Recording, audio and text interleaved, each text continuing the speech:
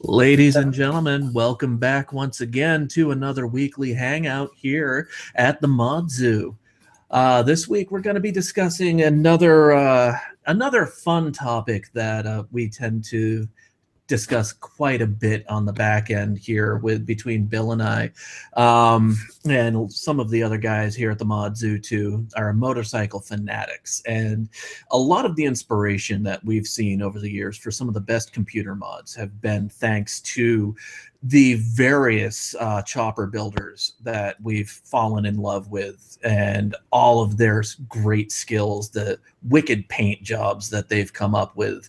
All of that great I don't know. It's just really hard to put into words. Just that animalistic feeling that you get when you're the kid and you see that motorcycle for the first time. You know, and Bill, of course, shares a lot of that love and uh, talks about all of the different people that he's geeked out with on this as well. And fortunately, today we've got a very special guest, but I'm going to hand off to Bill to introduce for that introduction. So, our guest today is David Freston, also known as Chopper Dave, who owns Chopper Dave's casting company in Long Beach, California. He makes his own line of cast aluminum and bronze bike parts. And he also does killer bike builds for customers and the annual Born Free show. He also writes articles and does photography for several custom bike magazines, including the Chopper Journal, which is published in Japan. And Dave, he even ships his chopper over to Japan so he can ride it into the Moon Eyes Hot Rod and Custom Show. Now, that is 100% legit love for the art. Now, I first learned of Dave in the Discovery Channel's Motorcycle Mania 2 before he started working at Jesse James West Coast Choppers. And he was also in an episode of Monster Garage, the Geo Tracker hot air balloon one. And you can find that episode on YouTube, I believe. Now, I met Dave on Twitter of last year. Uh, I had tweeted at Dean Delray that does the Let There Be Talk podcast. And I said, dude, you've got to interview Chopper Dave. And he thought it was cool. And he finally got around to it this last week on his podcast. He interviewed Dave and you can find that episode on iTunes. It's the Let There Be Talk podcast. And Dave talks about how he got into this awesome career. Now, what you can do in the chat is post your questions for Dave, and we'll try to get to them. But we're going to really, as Druk says, we're going to geek out on choppers and PCs. We're going to combine these two crafts together in one episode if it's possible. And I do think it's out very possible. Um, also, Dave has got a walkthrough shop video that he shares today, and he'll be able to narrate that to what's going on. Um, so, Dave, I got to ask you in regards to Discovery Channel's Biker Build Off series, who were your favorite builders or episodes? Because that that whole series was a big inspiration for me. Um, that's a good one. I didn't see all of them. I saw some of them. I didn't see all of them. Um, Indian Larry was one of mine. It was one of my favorites anyway, just because he was my friend. I mean, he and I became friends after Motorcycle Mania 2. Um, he was a gifted builder with a really neat building style because it's his whole building style is really just like a less is more, st- sticking with like functional simplicity type way of building. Um, who else? That's a good question. Oh man, I mean, there are a lot Paul, of talented Paul, people. Paul Cox. Well, yeah, Paul for sure. Yeah, because in those episodes you had Paul Cox, Indian Larry, and then Keino. Yeah, I mean the three of them are are, are both, yeah. you know, good friends of mine. Well, Larry's deceased, but you know, Paul and Keino were both good friends of mine, and we're both extremely gifted. I mean, Keino is a complete gearhead. You know, he's he done stu- all the the mixed motors with knucklehead heads on the back, panda motors on the front, or pan shovel motors mixed that way that are super neat. Um, he's an incredible mechanic. And then Paul, Paul's one of those guys who can do absolutely anything. I mean, he does every single bit of work on all the bikes from leather work to paint to frame mods to motor building, everything.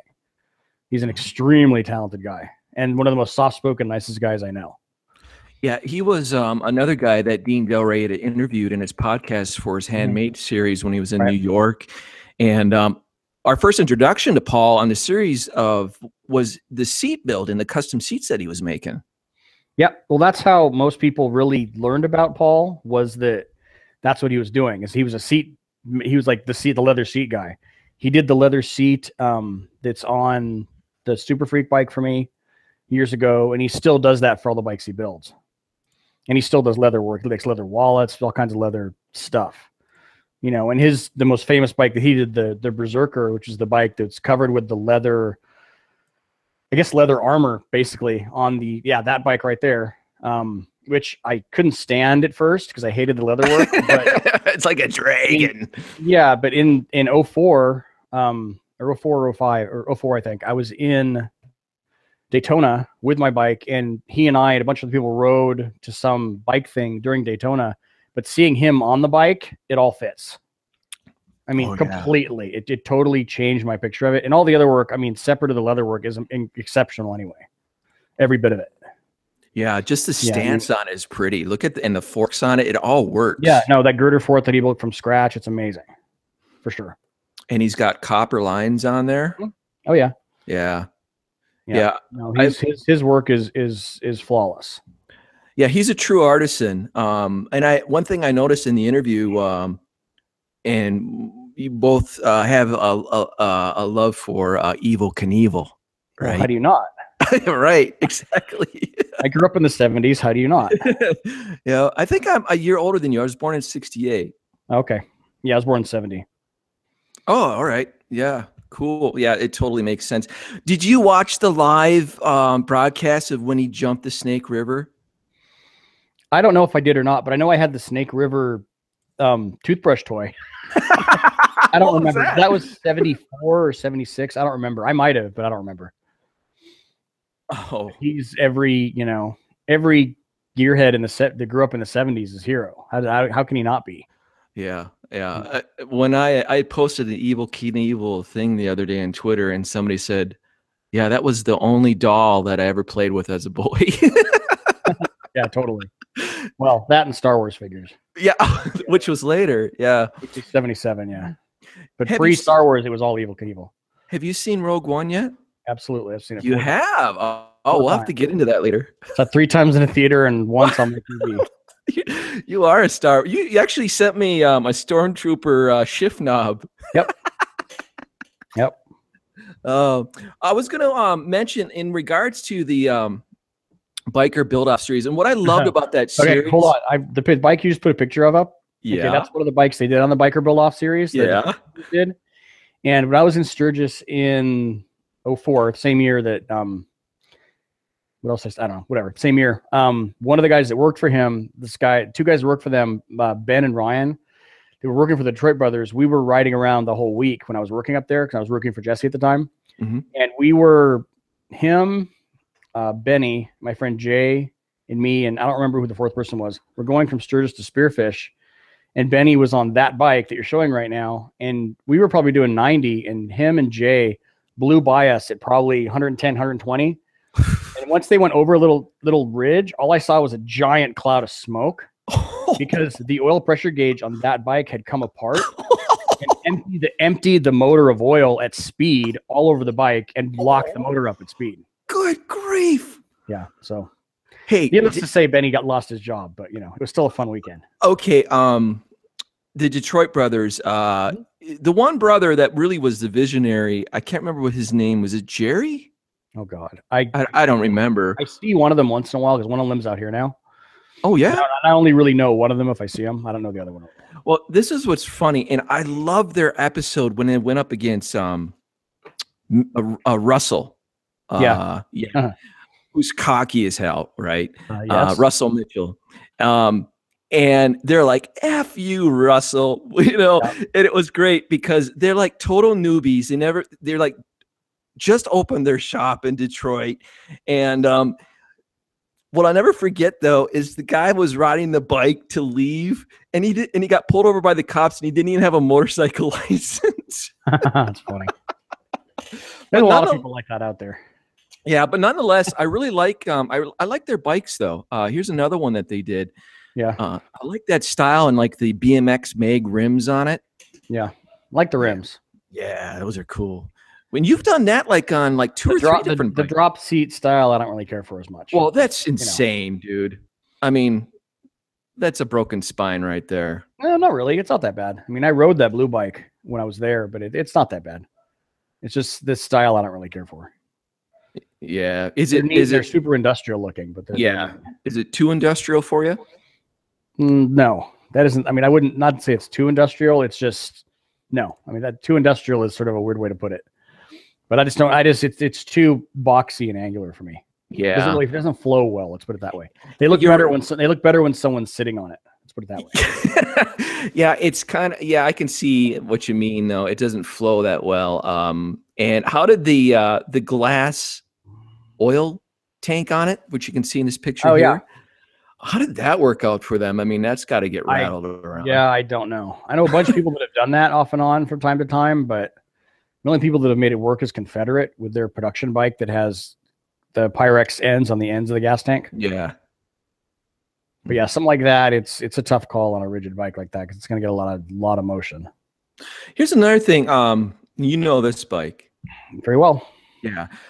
Was Jeff Wright ever approached to do a biker build off episode? I doubt it. I don't think he was. Ah, he Uh, should. and, he, and, he, and, he, and he wouldn't do it. Any, he probably wouldn't do it. anyway. really? Yeah.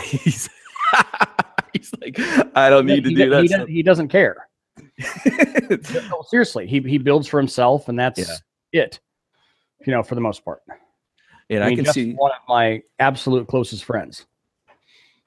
You know, I love Jeff. Jeff is his way of building is probably the most influential person building motorcycles to me in the way I've changed the way I build stuff in the past 10 years. Mm, Because it's just it's just a totally different outlook on building motorcycles. yeah.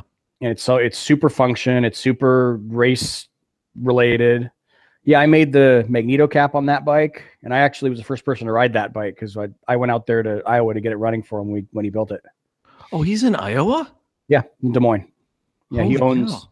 two bars a pizza a pizza place and ftw co the screen printing company Now you're coming up here to the frozen tundra for the Mama Mama Tried. well Yeah. okay i i might be at mama tried i'm not sure yet on Oh, that you don't know only because i'm supposed to come out and race friday night but I'm not 100% sure I want to race because I have a deposition the following week for my accident I was in two years ago. And it wouldn't really look good for me to go out there and hurt myself on the track and then go to court for a motorcycle accident. So Yeah, true. We'll see. Yeah, that's, And what, that's my that's my buddy Benny's bike. That the guy who owns that bike is the guy who was riding the Detroit Brothers bike when it blew up. what a coincidence, huh? Yeah, there's some incredible footage of him doing laps on a track with that bike pulley pitched to the right on the ice. Is it those, on those were YouTube? taken at, yeah it's on youtube those were taken well it might be on youtube or on instagram somewhere but those were taken at mama tried in 04 or 14 i'm sorry Mm. Uh, how many times have you done the Mama Tried? i've only been there once Mhm. I, went- I went last year um, the turbo bike went and my knuckle went i ended up i raced the my knuckle on the ice out there it was i mean it was the funnest thing that's singly the funnest day i've ever had on the ice out there It was- yeah know, that's benny that's, that's benny right there That's Benny. Okay. You get to come up here to the frozen tundra from California and enjoy something like that, and then you get to leave and go back home where we're stuck here if there's crappy weather. That's funny. Yeah, no, that that literally, I mean, I've been to a lot of bike shows, but that weekend was the funnest bike weekend I've ever had. My wife and I had so much fun out there because of the races Friday night, the show Saturday, and then it was really it was in the 50s, so it was really too warm. The marina itself wasn't frozen at all, but we my buddy Adam who lives out there went out and we found the one place we could race and everybody went out and raced. That's Benny again. Yeah, that's great. And uh, which of your bikes are you bringing onto the lake? Uh, well, I brought my my knucklehead was out there, my 47, my knucklehead race bike. Mhm.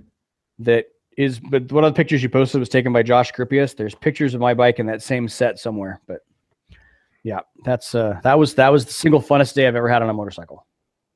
It was the funnest thing I've ever done on a motorcycle. Everything about that day was super fun. And then do you also do the uh, indoor flat track racing? Yeah, that I was gonna do that. That's what I was gonna go out to do at Mama Tried because I have a '56 Triumph C- TR6C that I was gonna go out and race at that, but I might not. This I don't know. We'll see. I mean, it might all change and I might go, but we shall see. But yeah, Mama Tried was a really, that's my buddy Andy, Andy Pangia. but uh, yeah, we had that was a lot of fun. That was a super fun weekend. As far as cool. bike events, it pretty much covers all the gamut too, because you've got that, you got the bike event, and you got the Harley Museum, and everything in Milwaukee is is like within a five dollar Uber ride from wherever you are, pretty much. Yeah, that's great. Yeah, it was super fun. Yeah, what- what a great event to put on. And okay, the whole thing about Mama Tried, does this go back to some like the first event where somebody's mama actually tried racing on ice or what? What's the origin? I don't. I, I mean, it could have come from the Merle Haggard song. I I don't know. It could have come from anywhere. I don't. I don't know where they where they started with that. Oh, that's cool. But yeah, that's a that's a fun event. It was. I mean, I'm bummed too because, but it's just, I don't really want to take a chance at getting hurt out there, you know, and having to deal with being hurt and then going to my deposition for getting hit on a motorcycle. So Mhm. I don't know. I, it's just a chance that I really want to take. So Right, I hear you, man. Uh, you know, I'm right next to was next door to Wisconsin. I'm in Minnesota. Yep. Um, I think I think Milwaukee's about uh, oh maybe about five hour drive for me from Minneapolis. Yep. Um. Now uh, I know some people are probably wondering. You know, you go back to uh, the days of uh, West Coast Choppers, and Mhm. you were working there when the mania actually exploded with the Discovery Channel series, and um, I mean, and you've mentioned how that's kind of built you or built um, your uh, your your your mindset with running a business, and where you've seen like the storm. You've been in the middle of the storm, all the drama and all that, but the job's got to get done, right? right.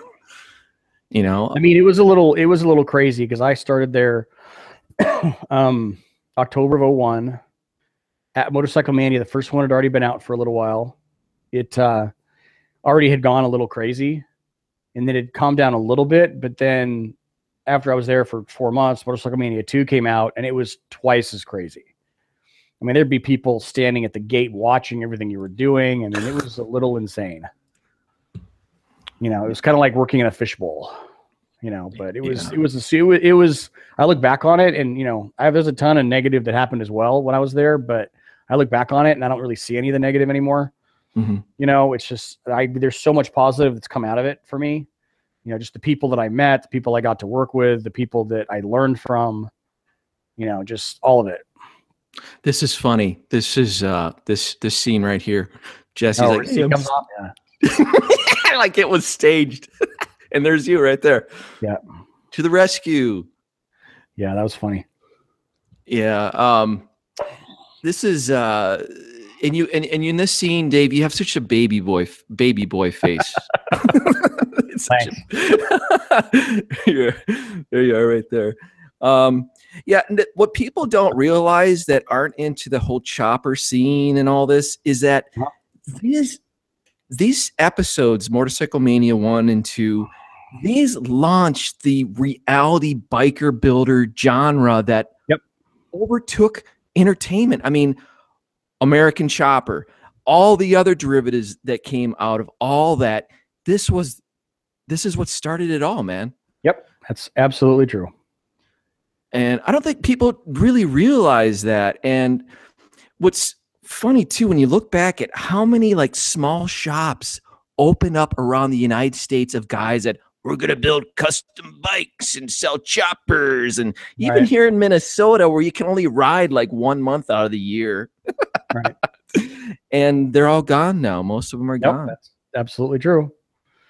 Most of them are. I mean, everyone Yeah, sees and- it and wants to catch in from it, but doesn't realize that it's way harder than that to do it to do. Oh my gosh. Well, one thing I've learned about you and people that don't know or have had an opportunity to get to know Dave personally is that you have this ferocious appetite to learn things. You are you are Yeah, I can say always yeah, you are always um when you dive into something, you go head deep researching it. Just it's like your brain just like feed me more, more, more Yeah, for sure. and i can see that's why your business has survived and grown is that you just want to keep pushing the boundaries innovate experiment uh, talk meet people get inspiration where a lot of people just kind of they don't have that internal drive and they just flatline after a while Yeah, for sure. I know what you're saying.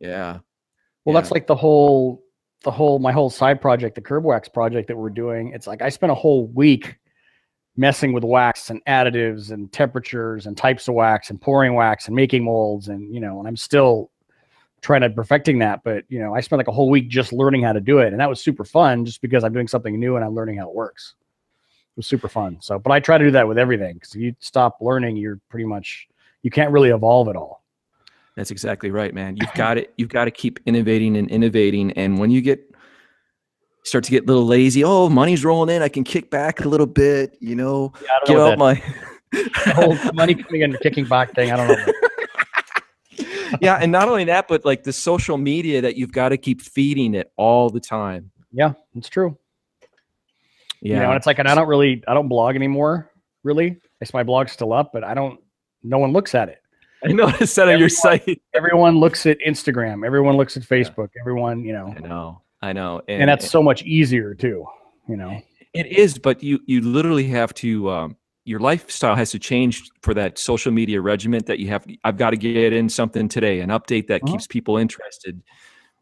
You know, yeah and most of my stuff is anywhere from my personal life to work stuff to photography stuff to random stuff that i like to who knows what you know it's because it's not just like just my business it's not just bikes there's so much more to it than that for me at least yeah, that, that's true. Um, I'm going to bring up your uh, your Instagram page. This is like your home base for social media. Yeah, Your Inst- Chopper Dave's on Instagram. Everybody follow Dave. Um, yeah i'm pretty much chopper dave's everywhere online yeah. Oh, just when an I, I started my site, my that's initially because when I started chopperdaves.com in 1998, chopperdave.com was already owned by a fan of the the Sealab t- TV show. And yeah, um, right. that's why I went with Chopper Dave's, and I just that's just what I use for everything now. Um, just an FYI, everybody, if you're watching this while at work, if you go to Chopper Dave's on Twitter, it's a not safe for work page. Yep. neither is my Tumblr. just an My FYI. Tumblr's even worse. Tumblr's so, even- or better, depends how you look at it. so bring it up on your phone, not on your desktop. Work. Yeah, Instagram is safe though. yeah, Instagram's safe because they don't allow uh, full frontal nudity. yep, Or even anything close to it. I mean, I've had a lot of stuff taken off for that. So Isn't that funny though that Twitter allows it but Instagram doesn't? yeah, I don't know. It just doesn't make any sense. It might maybe because there's just more kids on Instagram. I guess. And there's no way to do an adult censor thing on Instagram either. Like you can like like Blogger because Blogger at one point was going to take all nudity off. You know, and so many people freaked out, you know, that they didn't do it. But you know, if they'd done that, I mean, thousands and thousands of sites would have been shut down immediately because Mhm. people have been using that for adult content forever. Now look at this. This is something that Dave and I talked about the other day. Liam Wax. This is curb wax for skateboarders. Yep. This is another product that Dave is launching, um, and it just goes to show that he's diversifying his skills in look at skateboard stuff. Um, Yeah, but it's all still pretty much related too, because I, I use wax for doing investment cast stuff too. So it's all kind of in the same genre. Mhm. You know, and I a lot so many of the skateboard people are all motorcycle people now too. So yeah. Ryan Sheckler had uh, Roland Sands build him a bike. Yep. And you're good friends with Roland. yes, Sam. Yeah, I, I love Roland Sands. Uh, he Yeah, was my Roland's good guy. favorite. Yeah. Yeah, Roland's a good guy. Yeah, he's he's he- he's and he was kind of born into the business because his dad owns Performance Machine, right? Yeah, he was born in the business and he carried the number one plate MotoGP 250 for a year and a half too. I mean that that right there means more than anything else because the, the guy can ride a motorcycle. Let's put it that way. Yeah, and he's smart too. Uh, he Mm-hmm. he's launched his whole uh, line of motorcycle clothing. Yeah, no, he's know, he's got a good his deals real well. His shop's only like five minutes from my shop. So I, I see him on a semi regular basis. And I'm building two motor two uh, vintage race motors for him right now too. Oh, nice. So is this you Japan. got the yeah? Yeah, Moon Eyes.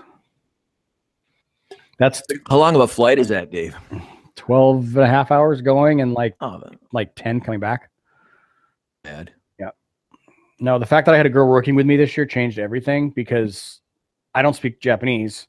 And people, and people are apt or they they're embarrassed that they don't speak English, which doesn't really make any sense, but whatever. So having her there was awesome. Changed Yeah. everything. Having her there helping me because she took care of everything and she talked to everybody and you know it was it was killer. And she just turned out to be a friend of my friend, a friend of ours you know, a mutual friend that we had, and said, "Oh, I got. I'm looking for some girl to work for me in my booth," and she was perfect.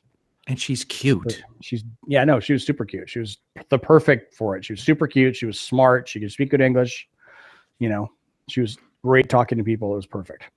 Uh, did you say, um, you know, I'm a photographer. Uh, we could do some photos before I go back home. Well, it's funny that you mentioned that because the, little flyer on the left there on my table, um, there was a line at the because it was all in half in Japanese, half in English. There was a line at the bottom of the, the paper that said that. But I, didn't, I didn't have any takers.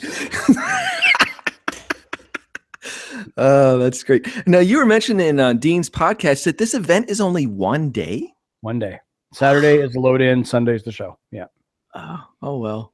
it's mind boggling. It's it's mind boggling and totally overwhelming. hmm And is this who's this guy?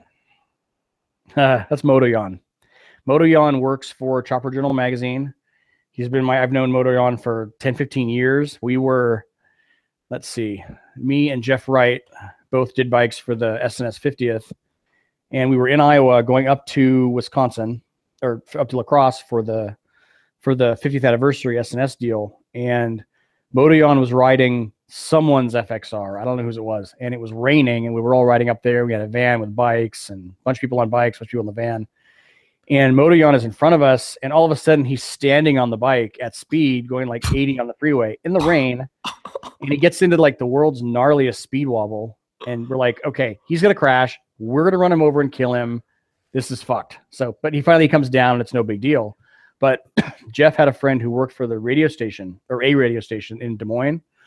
And we got a call. He's like, Hey, uh, you guys are hitting up north today with a bunch of bikes and a van with a trailer. He's like, Yeah. He's like, Well, there's a statewide police APB out for you guys. right because guys, they said guys were standing on bikes and going too fast. So we ended up taking like back roads from maybe half an hour out of Des Moines all the way up to Wisconsin. Oh my god! and we had to change who's riding stuff because one of my friends didn't have a, his license was suspended that was riding with us, and we had to make sure everybody that was on a bike was totally legal. So yeah, it was that was that was a fun trip. he But yeah, was trying to Motoyan's a good be trying to be the Japanese Indian Larry. Oh no, he's totally insane. He's awesome. He's he's the, he owns a skate shop in Tokyo. Oh, that's great. Yeah. Um, So uh, today you were nice enough to uh, head over to your shop and get some footage, a walk around, and we can share that. oh yeah, you mean the worst video ever of my nightmare of a shop right now? Uh, I put you up to this. I apologize. Um, let's see here. Let's bring this up, and no one can hear the sound. So um, here I'll just cut. I'll cut the audio on it, and then uh, we can just. That's all wax for buckles and damper knobs and badges that I'm making. Um, because I can't really work on bikes right now because everything is pushed forward because of all my racks sitting on the floor. Just more random bike parts. That's the knuckle right there that I raced on the ice last year. The Triumph next to it, the red one, is the bike I was going to race indoors this year, and I still might. I don't know. Just another knuckle motor that customers of mine. Knuckle motor that's for sale. It's my buddy Mark's. Um, that's one of the four or five motors I'm building for Roland. Um, wait, wait, wait, wait. wait, wait, wait, wait. You said, Um, Dave. yeah. Okay, girls that okay, gener- like all the all the shooting, the girl shooting I do, I shoot in the shop normally, Yeah. and they all have this a lot, not a lot, but a lot of them have this nasty habit of leaving clothes behind.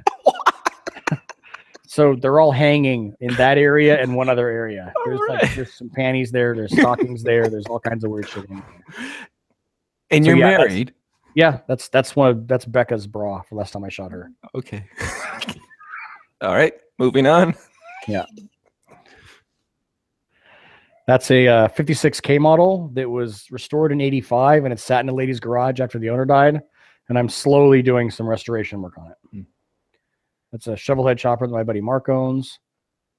Those are just miscellaneous wax, buckles, stuff, molds. That's all, all Oops. the colored stuff you just went past. Here, let me go back here. Okay.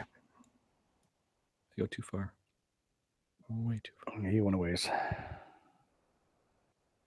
That's Oh, all curb. That's that's all curb wax. Oh, that's so cool, man. Yeah, I'm just met. It's hard getting the right dye for it, getting the right color, getting the right consistency, getting the right additives, getting the colors to look right. All the stuff that's stacked on top is done with a different kind of dye, which I just found, which works amazing. So they're super killer. So How about some Chopper Dave soap? yeah, to wash your ass. like uh, uh for like uh greasy shop hands Yeah. after you've wor- you done an engine overhaul. Yeah, okay. No. I'll stick with wax. Wax and wax I deal with all the time. Soap is a whole other deal. Dave, how do you get any work done in here? Well, right now I don't. That's the thing because everything's no all that stuff's generally at the back of the shop. Because I have when you get to it, you'll see there's some piles of shelves that I'm because I'm trying to getting more of my stuff off the floor. Yeah, see, it's just everything's it's it's, it's impossible to work right now because everything's all this stuff's pushed forward. It's normally not like that. Hmm. That's a 13 Dyna that I'm doing complete for a customer of mine. Hmm. Those are the race bikes again. See all those the the beams back there and Yeah. the racks. I mean, that's Oh, all. yeah. It's a nightmare because they got all the rat the the uprights are right, but the beams are all too long. Oh, It's like, oh, I can swap them for you, but it's not going to be till next week. And I had Oh. everything moved out of the shop to put Oh, those my. sh- shelves up on the left side because I'm putting shelves right that whole area you're just showing right now, Mhm. Mhm. like a mezzanine on top with the toolboxes and a six rack shelf on the left or on the right of them. That's a Okay. Sportster of a customer of mine, a race bike Hmm. With a bunch of really neat stuff on it. yeah, you've got a lot more bikes in here than I thought you did. That's uh, that's that's Jimmy There's- Monk's bike, the the beige bike. Mhm. The blue bike's the uh, the. Born free. the, the giveaway bike. Yeah, because the guy that that bought it sold it, so I'm holding it until the other guy picks it up. Um, there's all my nightmarish beams. As you can see, go back a little bit. There's let's see. That bike right there. That one on the rack is um, a West Coast Chopper, a CFL that I'm building for a customer Ooh. that I'm just waiting to get paid so I can start. Is it El, El Diablo one or two? Or? That's a CFL, okay. the rigid What- frame, the kit frame that they would they've Okay. sold. Has the market gone up on those frames a lot as collectors or? There's a small group of people that are really into that shit, Mhm. you know, that you know that will pay big money for that stuff, but you got to find the right person, Yeah. you know, Yeah, stuff. But there's people that are total fans of that stuff, and the guy I'm building it for is a total fan that almost shit his pants when he found out I was going to build it for him because it was Well, initially yeah. in my it was initially in my friend's shop, and he wasn't able to do the job. So that's all my swap meet stuff. Swap meet next weekend. That's a go kart. Tie fighter. Oh, yeah, Tie Fighter. That's a the South Bend mill that I have. And I, I keep accumulating more and more machine shop equipment, which is Yeah. good. There's a surface grinder back there you can't really see, and then there's two lathes: the 10 foot, 20 inch uh, Sebastian lathe from the 30s, and then to the right of that is a South Bend heavy 10 lathe that was actually made and sold to the Hughes Aircraft Corporation. cool. And one of these days we'll do a, a negative bad machine shop practices my chopper Dave video because people seem to catch me and stuff. Uh huh. You see that the tap handle was left in the chuck there. Uh huh. That's bad. But you know, That's So- naughty. but right now it's just it's just a nightmare to me because I can't move anything around. That's one of the frames that I manufacture. Mm, It's clean. a, it's a copy of the motor shop frame, the same frame the Super Freak was in. Oh, that's gonna sell. Well, yeah, no, well I I've sold 13 or 14 of them. You know, I don't really advertise them, but people if people want them, they seem to know I can get them. Let, let me ask you this: Did you Yeah. s you sold the Super Freak? Was that uh, the Vincent Gallo sale? Yep.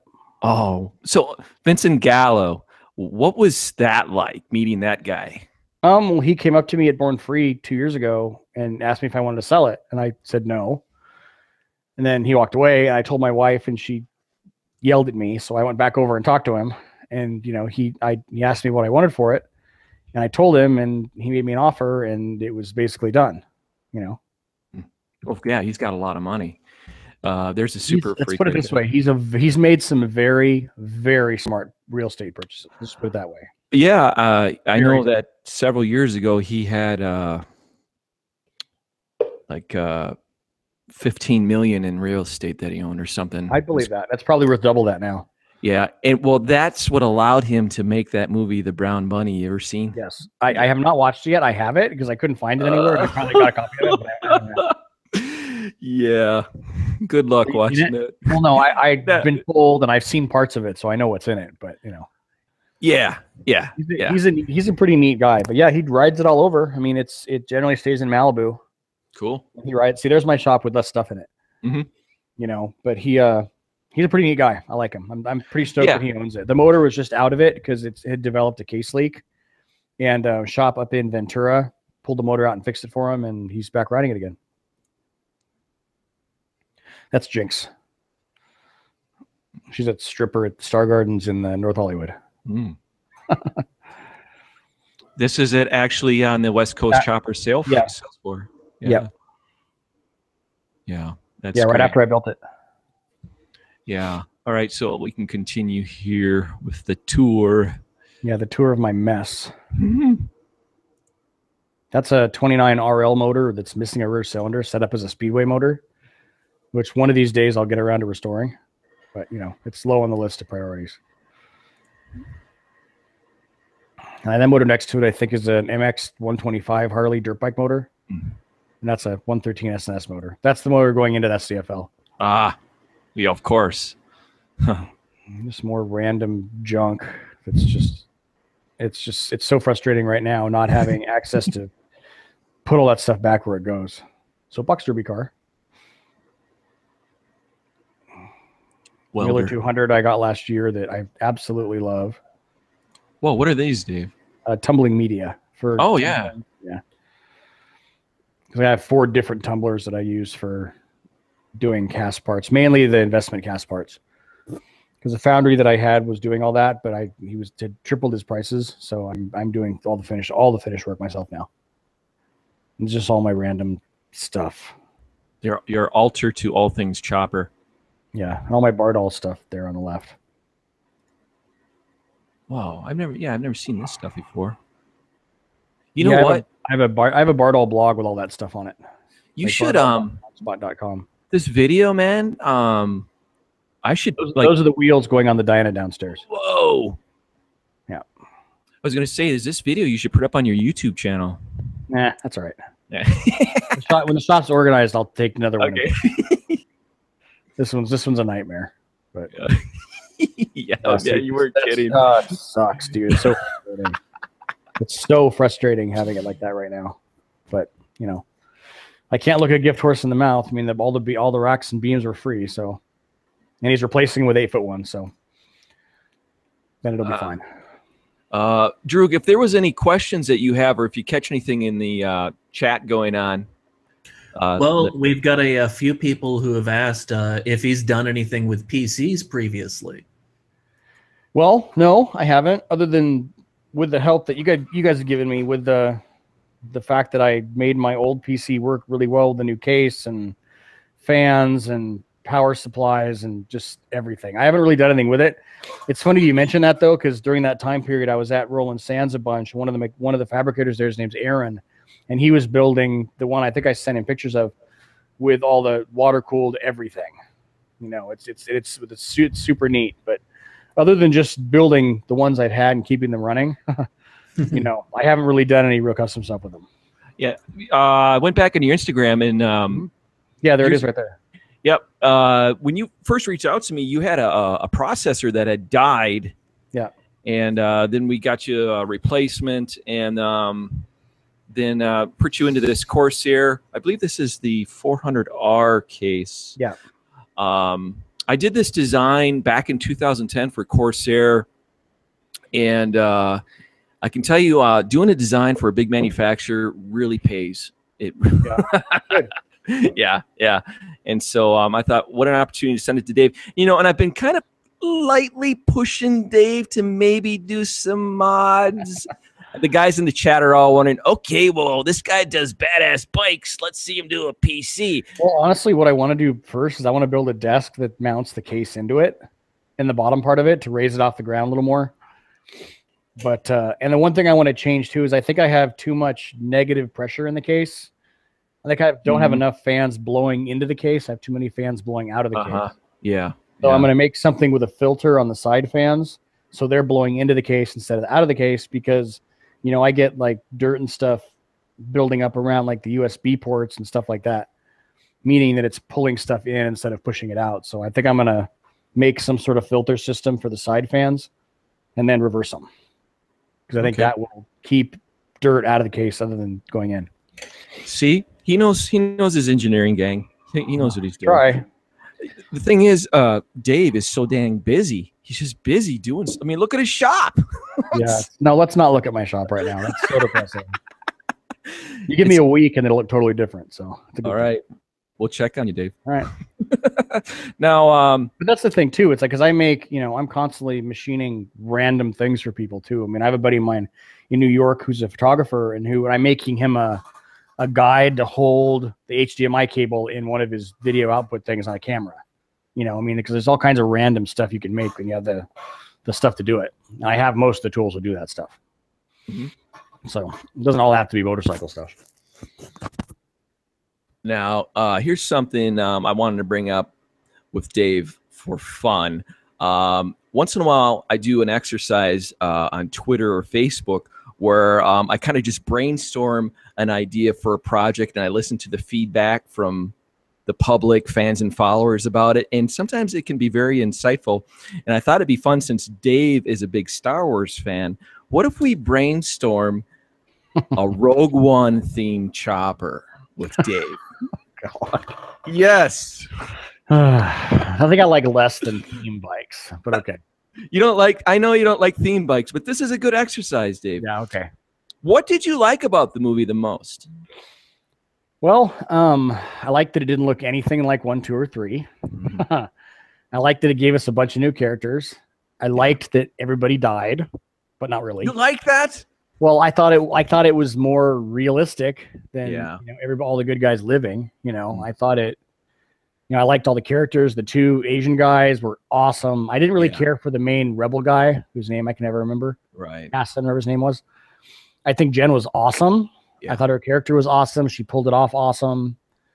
You know, and it's funny too because I looked her up afterwards and didn't realize that's who she was. In in the movie, I never would have put two and two together Mhm. Because her character was so much grittier and darker. It was it was killer. I loved it. You know, and I like the fact that they can you know pull together a story like that that isn't part of the main storyline, but yet tie it in and explain one piece of the story and make a whole movie out of it. It was Mhm. killer. I mean, all of it. The black the black stormtroopers, the all the the new you know imperial stuff. It was cool. I liked it. Okay, you're in California. Yep. Let's say that somebody gets word that you do these custom bikes and it's Disney. They reach out to you, Dave. We're going to do a promotion and we need a chopper for this uh, the the Blu-ray release at this particular place. We'll, we can give you about a month, and you can take any element of Rogue One and do a theme bike. What would you do? Uh, put Jyn in a bikini on the gas tank. Of course, you would do that after it's built. What would I do? Um, oh no, you painted on the gas tank. Um, I have I have no idea. I mean, it's because that's super far out of my realm of what I normally do. I don't know. I mean, there's so much neat mechanical stuff in all the vehicles and whatnot in Star Wars that Uh-huh. you know it'd be, there'd have to be some sort of stuff like that you could adapt into some sort of you know motorcycle as an art medium. Right. Um, no, what I think, what, what I like Mad about, Max, yeah, Mad Max is yeah, more my- yeah. the, the, the, the toe cutter, all the stuff from the first Mad Max movie. Max movie. uh, I was thinking more kind of a post-apocalyptic, uh, all-terrain type of bike Mhm. would be cool. Yeah, like the Um, stuff that um Icon builds because Icon's done a bunch of builds. There you like- go. Yeah, they've done a bunch of builds like that. Yeah, uh, to be honest, uh, Fury Road, the bikes which are shown here in images, I wasn't a Mhm. fan of the designs. I thought they were cheesy. I, I don't know. Like, well, I mean, look at this. No, I know on. it's cheesy. It's cheesy. It's bad. It's very bad. It's stupid. I mean, what's it got peacock feathers on it? This is it's interesting. See, that's like a, that's just like a stripped down gas gas trails bike or trail Yeah. bike, or something like that. Yeah. That thing looks like fun, except there's you're gonna burn your ass on the pipe. yeah, I mean, how do you carry all your supplies on that thing? You know, Backpack. and this uh, a sled. Got a sled and a little tiny like moped rear wheel. Yeah, not really. Oh, bad. You could tell that whoever did the bikes were not bike people for the movie. I like the the handlebar guards though. Yeah, I don't know about that, but they're it's all super Mad Max, you know, and I get that. That's cool. But the original Mad Max stuff from um, the first movie, like the bikes that the toe cutter drove and all that stuff. I mean, all those bikes, all the Kawasaki's and all that Jap stuff. Yeah, the cafe style. yeah, more like a street bike, cafe style bike. Yeah, for sure. So you're That stuff thinking, was killer. oh, so that could kind of be our uh, base for a Rogue One, maybe, huh? I don't know, something like that.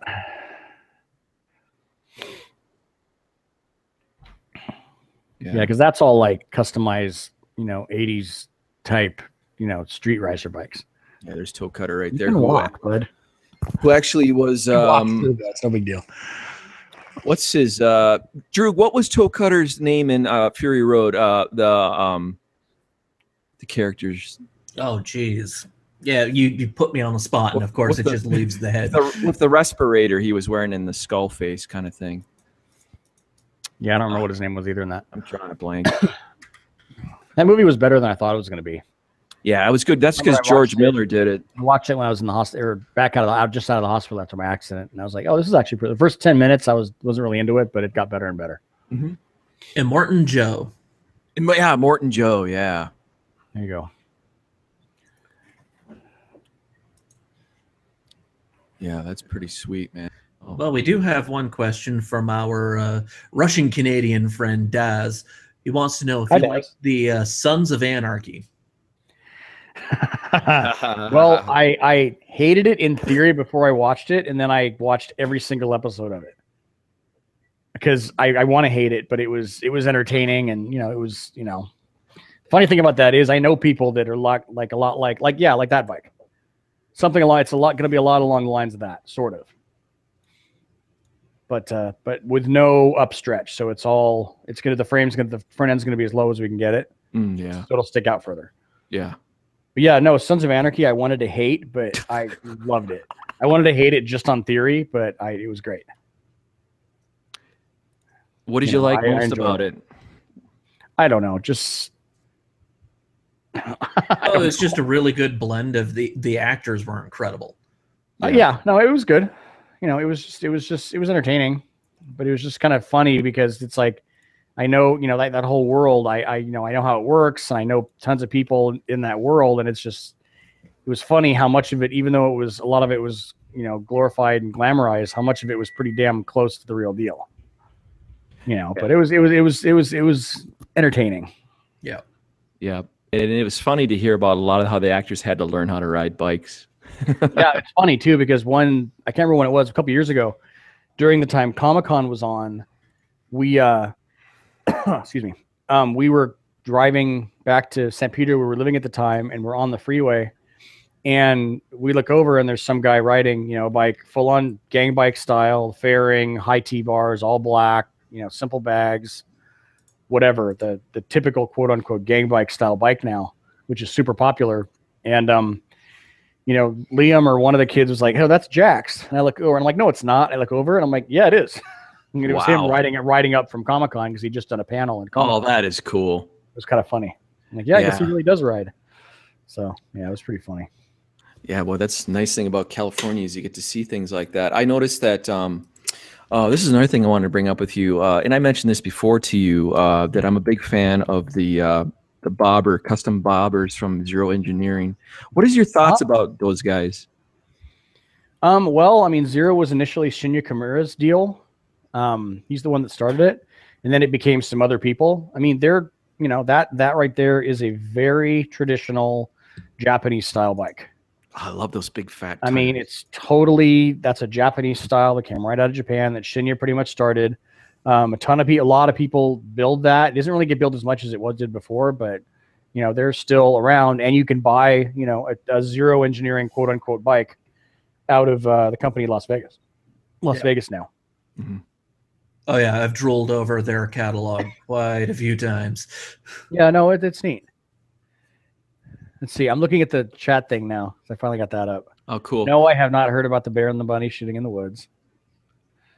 Except the bear would probably use except the bear would probably use the bunny as toilet paper. I think uh, those guys are wondering about the brown bunny. Uh, just Oh, an F, uh. F- the this movie, Vincent Gallo did this movie himself, um, and Vincent is a big um, fan of biking and, Oh, he totally and is. racing.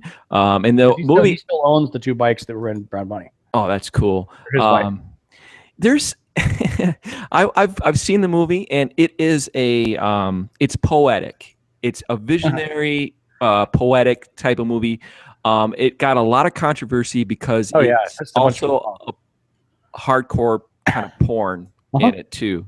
Yep. Uh, so just an FYI, um, and that's towards the end of the movie if we want to scan up ahead. But it's interesting.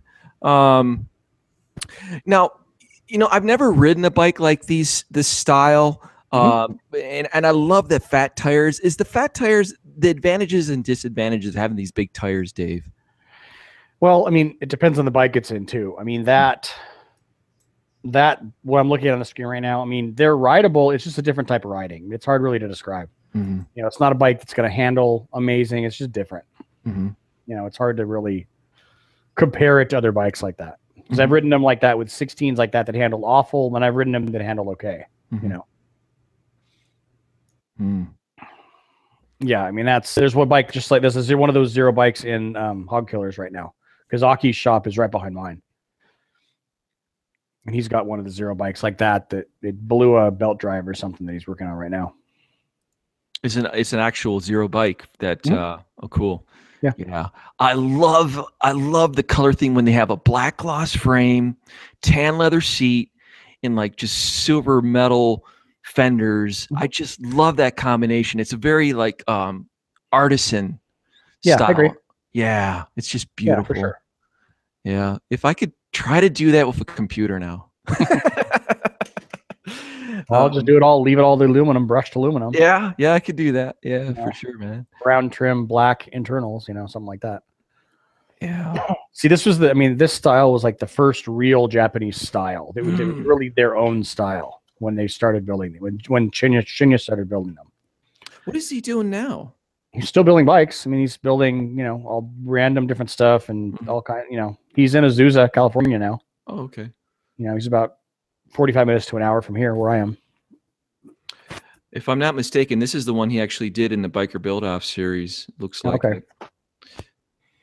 No, the one he did in the Biker Build Off series was the one that had the exhaust manifold as an exhaust pipe. That I remember. It had like a, it had a, the, the pipes coming into a two into one and went into like a Chevy exhaust manifold, and that was how they came out. Yeah, these are so cool. Um, do you still talk to Jesse at all? um, once in a while, he and I have gone up and down over the years. Hmm. That we don't talk or whatever, and then, but yeah, we. I don't have a. I don't really have any issue with him anymore. I've had issues with him in the past, but I it, whatever. I don't care. and you Well, know, every yeah. once in a while, I'll hear from him for something, or I'll hit him up about something. But for the most part, no, not really.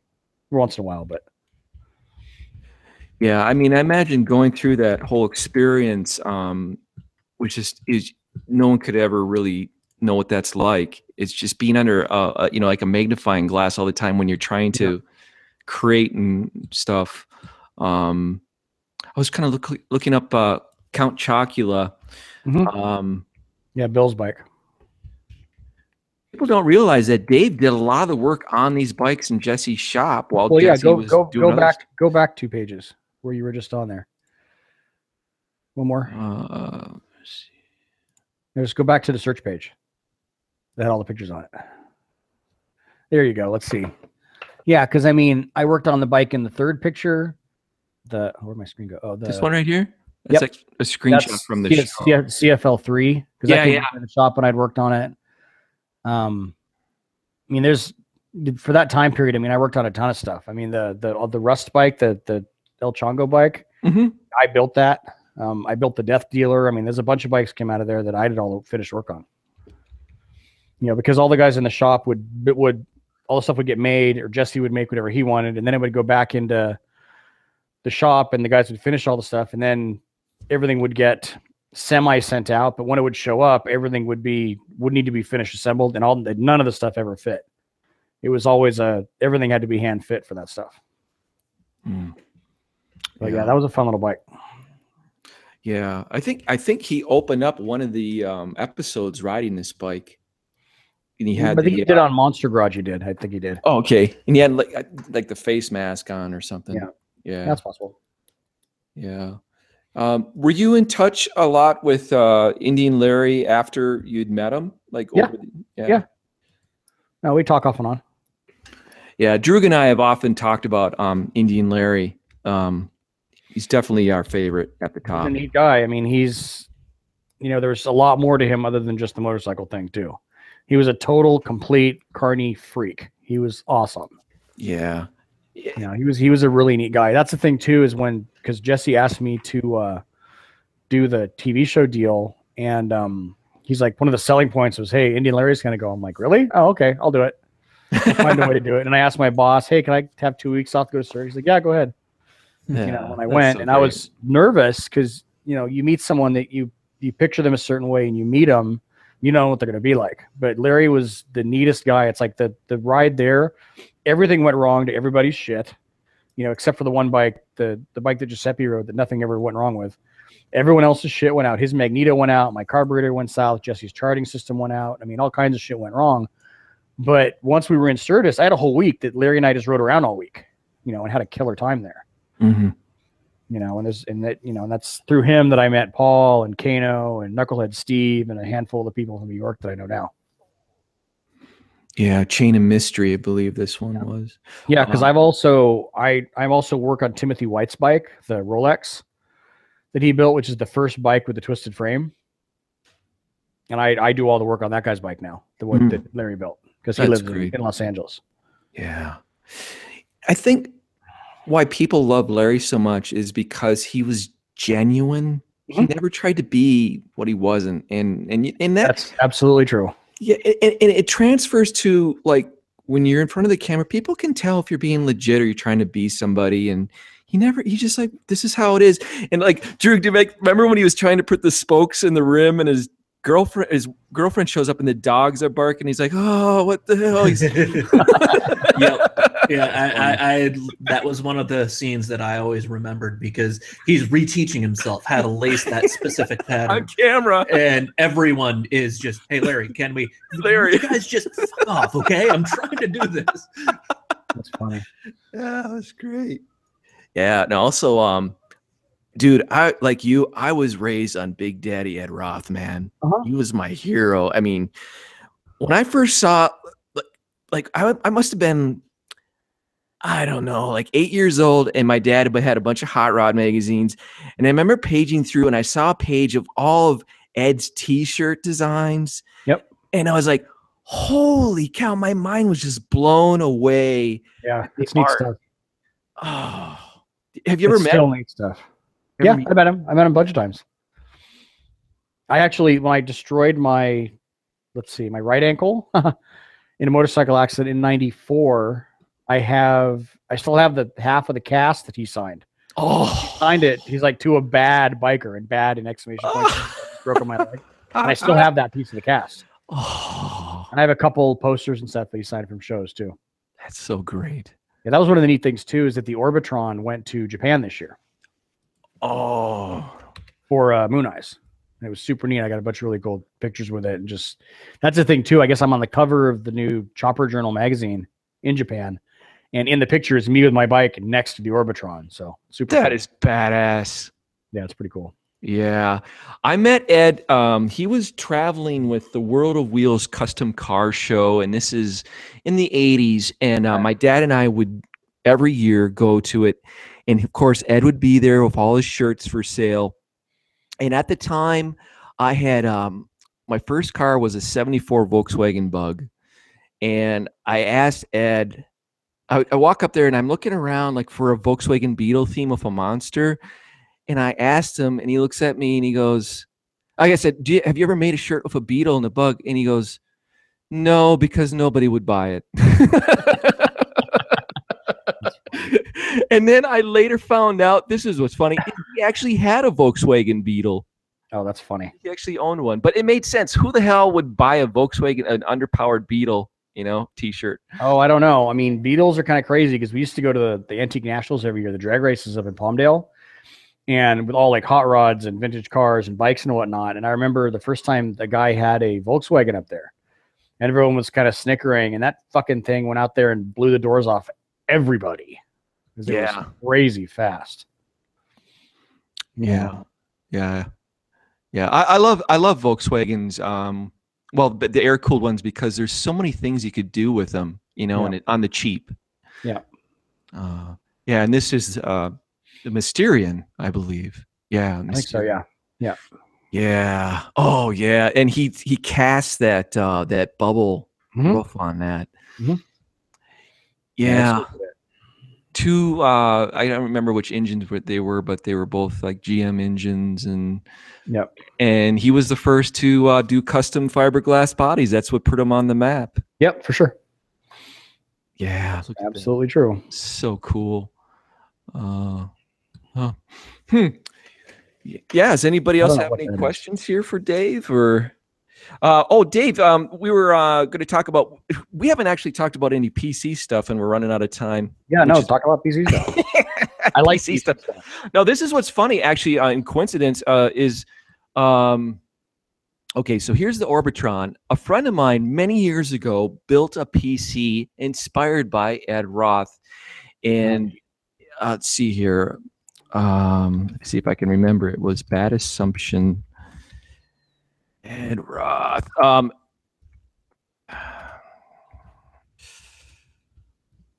you uh Dave, you had asked me about like uh, input about different keyboards, and you ended up choosing um, a keyboard to replace your old one. What'd you go with?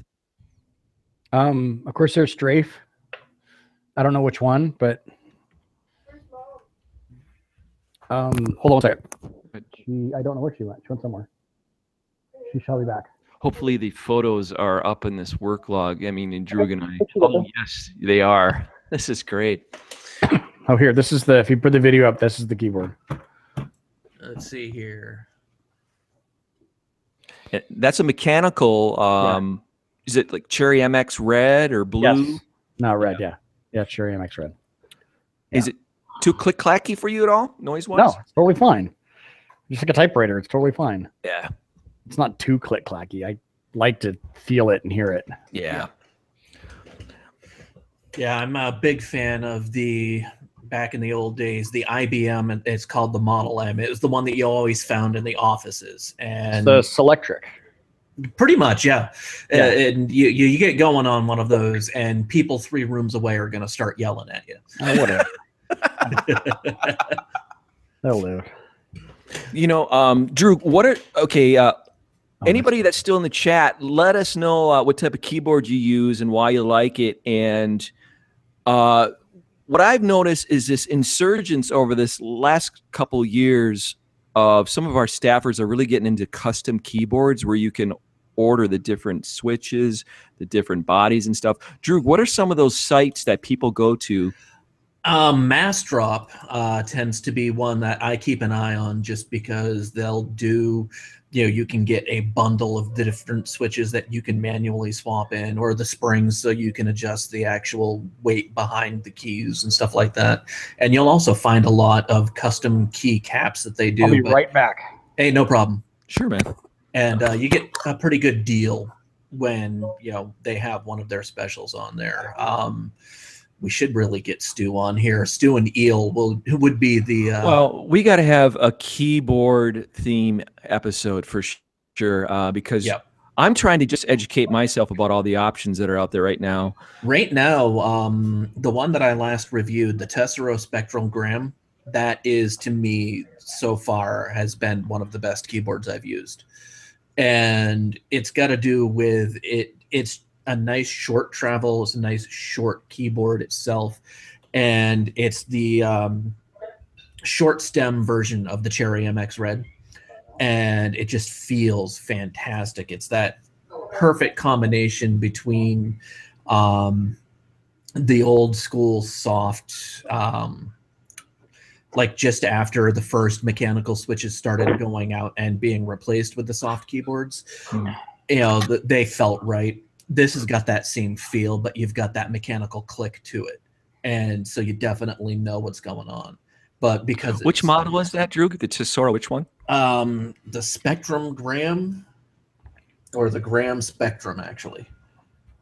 And it's a full, uh, full RGB board. I tend to keep the color turned down quite a bit, uh, but you can do the full range of programming for the keyboard layout if you want to have special layouts for whatever program you're running.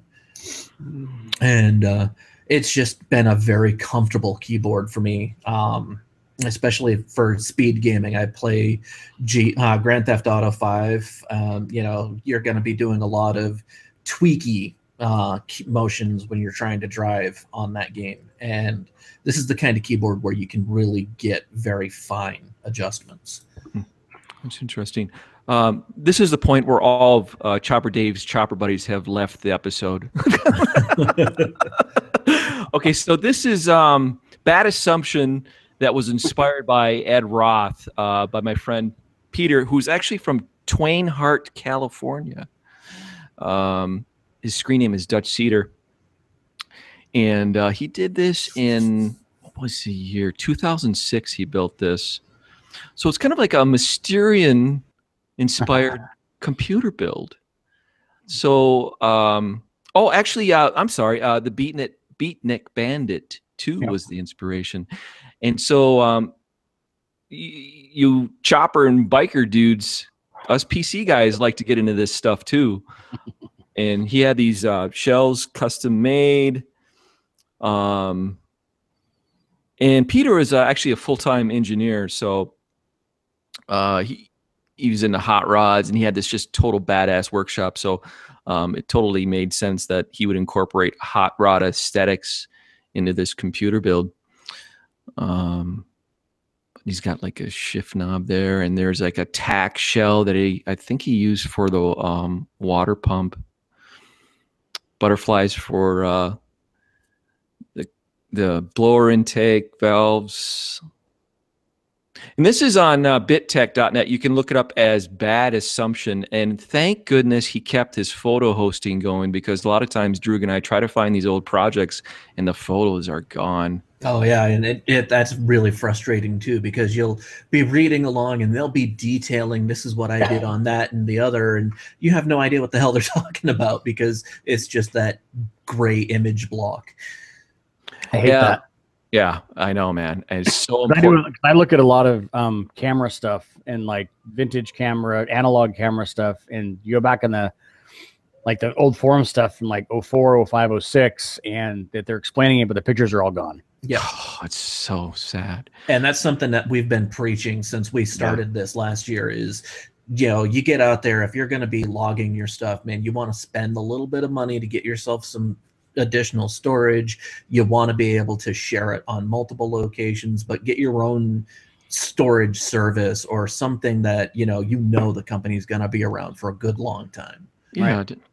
And it, it, we try to tell people, Dave, to get off Facebook when you're doing projects uh, and just get it onto a community forum, get it or get it onto your own site, so it's archived and it's discovered by somebody. You know. Well, yeah, I've got tons of stuff that's in folders on my main website that's other pictures are all over the place. But yeah, I've got folders full of stuff like that. Yeah. However, so it's still up there if anyone wants to look at it. Uh, Drew, you you were going to ask Dave um, about uh, Full Throttle, man. Remember? Yeah, 1995 clip point and click game by uh, LucasArts called Full Throttle. Bill's pulling up a picture here. Um, it's one of those games where I played it, and that bike is absolutely impossible to create. I understand. but that would be badass. now, let's, let's say that LucasArts is going to do a reboot of the game oh God. Chopper Dave for hire. well, I mean, I, am looking at that. The, first the bike, would, the bike wouldn't be enough for them. What I'd end up doing. they want something way crazier. Oh yeah. Uh, what do you think? What do you think, Dave? Uh, hundred grand? Will that? Sure. Okay. They're gonna pay me hundred grand. We'll do it. Build whatever the hell they want. yeah. Drew, the only motorcycle game I played like that was Road Rash. Oh, God, oh, yes. yeah. I had the um, I actually had the 3DO when I played that. That's funny. Yeah, no, I played that on PC at the time, back yeah. then. I'm, I'm, not a big gamer person, but that's I played that. But that's one of the few things I played that. Um, I recall that it had a badass soundtrack. It had Soundgarden's "Rusty Cage" playing. Yeah, it did. I now that you say that, I remember that. That's funny. Yeah, that was awesome. Yeah. It was And just had- that. It was just that and Half Life back then. That's all I played. Oh yeah, Half Life. Yeah, that was pretty fun. Yeah, I wasted quite a few hours of time Hmm? just yeah. I Yeah. think that was actually one of the first games I played where we were able to get it going multiplayer. So it was me in one room. We ran a wire up over the acoustic ceiling. This is at on campus, Oh, that's awesome. and so my buddy would join in, and we would just beat the hell out of each other for hours. Totally. Yeah, that's cool. Well, Dave, man, can't thank you enough for Sure. the time to uh, That's right. delve into this stuff, dude. That's Uh, what. And uh, when you someday when you get a break, I'm gonna push you to mod a piece. That's fine. I I would love to do it. It's just you know just getting around to getting the time to do it and having the right idea to do it. I mean, I've you know I I like making stuff, so it doesn't really make any difference to me what I'm making if it's something. You know. Um, what if anyone wants to uh, listen to the full interview that Dean Delray did? Uh, you could check out the Let There Be Talk podcast on iTunes, and uh, it just went up on uh, Monday this past week. And uh, Dave dives more into um, uh, how he got inspired to get into bikes and um, a little bit of working at West Coast. But one thing about Dave is he doesn't dive into the drama, and I respect him about that because it's not really. Well, I try really drama. hard to stay at. Well, that's the only Yeah. way I can still do this and not lose my mind is to stay as far away from the drama as possible.